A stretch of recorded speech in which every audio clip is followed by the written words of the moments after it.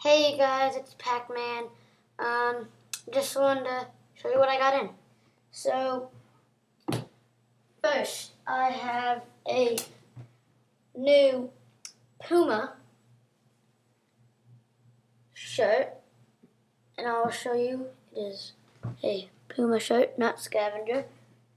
and has a monogram in the back. It has the gold Puma. And so, yeah, I got that for 30 something dollars. Because when I got it, it had a ton of smudge, had a few smudges in it, if you can see them. So it was at $60. And then I, the guy brought it down to, um, he brought it down to $30. And I just got a new bag in, and I wanted to show you guys that. So let's move the chair. So yeah, um,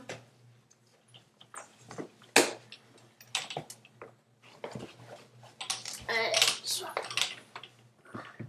there, oof, there, there. So yeah, and I paint filled all my clubs, my three wood hybrid, and my two, and my my 56 degree, yeah, all that. And I even did it on my putter. I did it right there, and then I did it right there, and then right there too. So yeah, I paint filled all my clubs.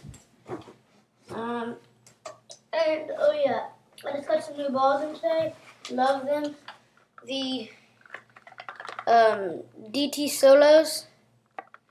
Um, nice. It says long distance. Long long distance for driving irons.